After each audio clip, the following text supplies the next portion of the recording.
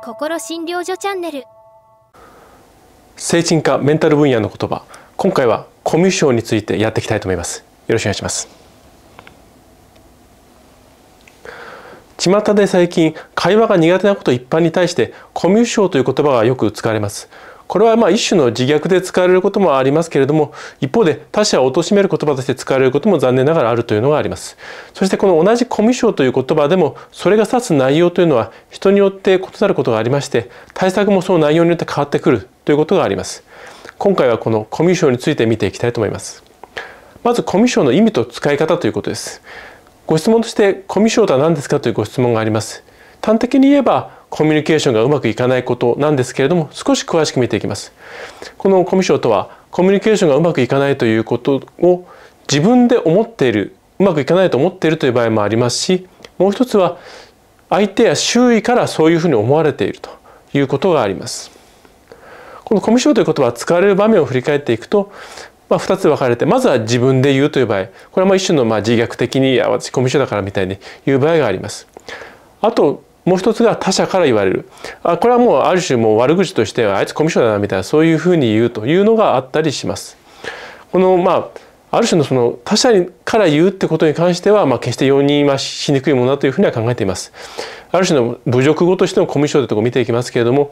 まあ、それはある種陰口みたいな形であまりプラスにならない形で言われることがあると。で直接言うとしてもある種の人格否定として言ったりその原因と改善策あとそれを言う相手へのリスペクトというところが示されない形で言われてしまうとするならばこれはもうもう侮辱以上の意味を持たないという思います。参考としてコミュニケーション障害というところよく DSM-5 でもこの言葉はあるんですけどちょっと意味が変わってくるんですけど参考に見てみます。この中ではよくまあ言語障害言葉自体が苦手ということもありますし語音障害これは言葉の発音のところの問題が出ることがあります。あとは喫音と思ってしまうということだったりもう一つは社会的なコミュニケーション障害というところがあります。これはあくまで参考です。この大まかなコミュ障の分類と対策というところを見ていきますけれども、まあ、一つのやり方はその原因から対策を考えるというところ。もう一つが、まあ、交流パターン言い過ぎる言わなすぎるなどから対策を考えるというところがあります。まずコミュ障の原因と対策という観点から見ていきたいと思います。このコミュ障は大きくと2つに分けられます。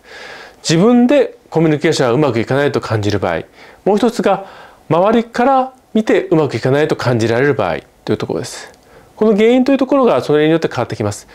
自分で思う場合の多くは、まあ、不安障害その中でも社会不安障害というところが多く背景です。相手がそう思う場合は逆にまあいわゆる発達障害 ACD、ADHD であったり一種のパーソナリティ障害があるということがありえます。この原因ごとに原因と対策見ていきます。まずは自分で思った時の社会不安障害なんですけどもこれは強い対人面の不安が強く続く不調になります。その中に当然コミュニケーションへの不安というところも含まれてきます。そして、まあ、不安から緊張が強くなって実際にうまくいかない。それでその場面を避けてしまうということでなかなかうまくならない。こういう悪循環へ進んでしまうこともあるので注意が必要です。この社会不安障害の背景ですけれども大きくと3つあります。まずはま生まれながらの性格として確かに不安を感じやすいとか内向的というのはあり得ると思います。2つ目としては自己肯定感の低さ。どうせ自分はダメだと思ってしまうとなかなか一歩踏み出すことが難しくなることがあります。3つ目は過去の経験。過去に会話をして言って嫌な思いをしたということがやっぱり頭の中に残ってしまうと一歩は踏み出しにくくなってしまうということが出てきます。この場合の対策というところを見ていきますけれども基本的にはもう不安はあるけれども直面しつつ繰り返し慣らしていく脱感さが一番有効になります軽めの場面でそれを慣らしていってまあ、小さい自己体験成功体験を積み重ねていくということが大事になってきます。それで過去はあるんですけどももう今の経験を過去は消せない代わりに、まあ、塗り替えていくリライトしていくというところが大事になってきます。そしてまあ社会不安障害ですと人によっては抗うつ薬 SSRI が有効な場合もあり得るかと思います。続いてが発達障害まずは ASD について見ていきます。これは社会性の障害対人面の苦手さとこだわりが特徴になります生まれながらの発達障害ですコミュニケーション自体相手の思いを無意識に感じ取りにくいなどの困難や影響があることもあります。あと一番注意なのがそのこだわりというところを相手に押し付けてしまうことからコミュニケーショントラブルになるということが一番注意が必要です。この ASD の場合の対策を見ていきますとまずはその自分の特性対人面の苦手さだったり一歩間違えると相手にこだわりを押し付けて相手に嫌なのを思いさせてしまうという特性を受け入れるというところその上で社会性ということに関してはそれが得意な相手を見て真似をするモデリングであったりあとこの場からどういうものが求められてか推測するというところだったりそういうことをいろいろ学習していく、まあ、こういうところで徐々にでもカバーしていくということになります。そしてこだわりに関して言えば相手にとってもプラスになるものに限定していくというのがもう大原則だと思います。続いて発達障害の2つ目 ADHD について見ていきます。これは不注意多動衝動というところが特徴の生まれながらの発達障害です。つい不注意的に出てしまう失言というところが会話を壊してしまうことがあります。そして感情や衝動特に否定的な感情に飲まれて会話を壊してしまうことがあるというところです。この ADHD の場合の対策を見ていきますとまずはやっぱり自分のそういう特徴でそういうところ特性から会話を壊してしまうリスクをあるってことを受け入れていくというところ。その上で失言に関しては言う前にまず一歩を引いて言うべきか言わないべきかを考えるという練習を反復していくことが大事になります。そして感情に飲まれることに対しての対策はいわゆるアンガーマネジメント特に怒りに関していろいろ対策を取っていくということが大事になってきます。そして人によってはいわゆる診断を受けた方に関してですが ADHD 治療薬が有効な場合もあります。続いてはパーソナリティ障害の一つ目境界性パーソナリティ障害です。これはいわゆる持続する感情のコントロール感情調節困難になります。それによって自分の状態やあと相手が相手がどう見えるかというところも強く変動する、まあ、前科無可的に変動することがあります。特に不安定な時に感情にも飲まれて言い過ぎてしまって会話を壊すリスクが少なくありません。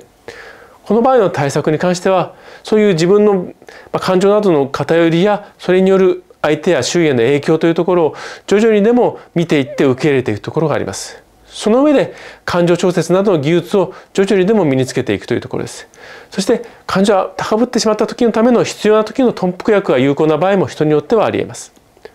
続いてが自己愛性パーソナリティ障害になります。これは自分が特別だと思うタイプのパーソナリティ障害です。その結果、相手にも特別扱いを求めたり、まあ、相手をちょっと下に見てしまったりする場合がありえます。まあ、自分が相手より上という感覚があるがゆえに相手に要求しすぎてしまう言い過ぎてしまうということが出てきます。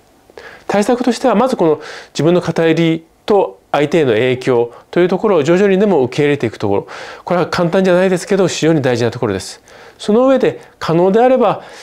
相手の痛みなかなか無意識に感じ取りにくければ自分の痛みというところから推測してやっていくというところが一つ方法かもしれません。そして自分の利益だけに言ってしまうとあれですから自分たちの利益というところに変換するというのが、まあ、短期的には取り組みやすいところかもしれません。続いてコミュ障の交流パターンの対策というところを見ていきます。このコミュ障、まあ、大きく言うと2つの交流パターンです。一つは言えないことによるコミュニケーションうまくいかないこと。もう一つは言い過ぎてしまう。それによって会話を壊してしまうというところがあります。大まかな対策をまず言うとこの言えないと言い過ぎるの中間を取る。これよよくアサーションとかアサーティブとか言いますけどその中間を取っていくということです。これを言い換えると言えない場合は言う練習をして言えるところに持っていく。言い過ぎる場合は我慢する練習をして言い過ぎないところに中間に持っていくというところになります。少し詳しく見ていきます。まずこの言えないという場合に関してですけどこれは先ほどの例でいくと主にはいわゆる社会不安障害の方が該当するところになると思います。これ言うこと自体の不安のほか相手に否定されることへの不安というところもあり得るところです。そして人によってはですけれどもいわゆる発達障害が重ね着的に合併しているという方も中にはいらっしゃいます。対策としては原則としては不安がありつつも言うというところこの不安にならす脱感さを繰り返しやって練習するということになります。人によっては抗うつ薬 SSRI が有効な場合もあります。この中でいわゆる発達障害が重ね着している場合はただ練習するだけだとうまくいかないこともあるので並行してそういう特性先ほど挙げました発達の特性を理解して対策を取るというのを一緒にやっていくことが大事になってきます。続いて言い過ぎるというところですけどもこれは先ほどの中ではあの他者が相手が困る発達障害やパーソナリティ障害未自覚の方が該当することになります。自分ではしばしば困らないんだけども相手が辛い思いをするというところです。そして相手からあの指摘があるかといえばないことが多いです。なぜならばリスクを恐れて言わないということもありますし実際は言われてもそれを否定してしまっていることはあるのかもしれません。この場合の対策というところはまずはその自分の特性言い過ぎてしまう。それでによる相手のへの影響言動の相手への影響というところを見ていって受け入れていくというところがスタートです。その上で言う前に一歩引いて言う量と強さをちょっと抑えていくというところがポイントになります。その中で特に大事なのがやっぱり相手を否定しないというところです。でどうしても否定しなきゃいけない時はもう細心の注意を払ってやっていくことが大事かと思います。今回は精神科メンタル分野の言葉コミュ障について見てきました。コミュ障は交流がうまくいかないということ。自虐的に言う分には、まあ、あり得ることなんですけれども他者への悪口として用いるのは望ましくないと考えます。自分でそれを感じて言えない時の多くはいわゆる社会不安障害です。この時は不安がありつつも話していく鳴らしていく脱感さが有効になってきます。相手がコミュ障と感じたり言い過ぎてしまうということに関しては未自覚の発達障害やパーソナリティ障害があることがあります。この場合はもう特性や影響を受け止めつつ言い過ぎを減らす日々の練習をしていくということが大事になってきます。ご視聴ありがとうございました。もしよろしければチャンネル登録していただけると大変励みになります。